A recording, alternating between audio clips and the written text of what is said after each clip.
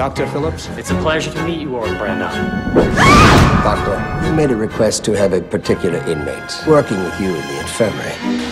Let's get on the table carefully. Clear! Hi, I'm Laura Olney. I'm a journalist. Do you remember what Dr. West did to you? Stay away from him! Who was the guy who was helping you today? Dr. Herbert West. I want to work with you. Going from rat to rat is okay, but transferring from species to species, it's not right. Nanoplasm is a completely neutral energy. It's the same in rats, dogs, human beings. Throughout history, man has searched for the secret to immortality. She's not getting any fresher.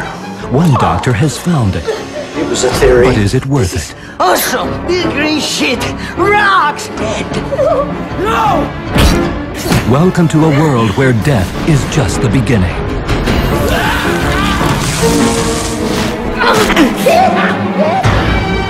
A young doctor with a secret past. A beautiful, ambitious journalist. A sadistic warden. A model prisoner.